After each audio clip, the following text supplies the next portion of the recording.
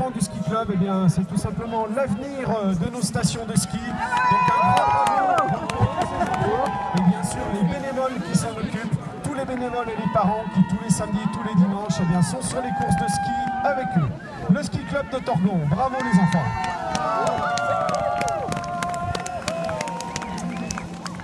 Et il y, a il y a une snowboard Et maintenant, une démonstration de piste un peu spéciale à l'aide d'un Youner. Ce sont les Pemingans Youner. Je crois que c'est un truc que t'es assis. Allez, un petit mot, Julien, sur ce Youner. Euh, Le Youner, eh bien, c'est c'est le successeur, pardon, du Paret. Le Paret, eh bien, c'était un gros patin, un gros patin en bois avec un grand manche qu'on calait entre les jambes.